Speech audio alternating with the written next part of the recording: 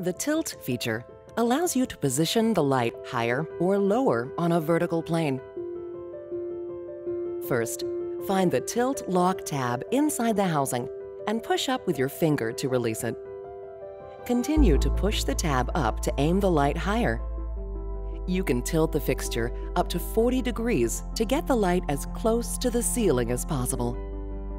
To bring the light back down, simply pull down on the same tab.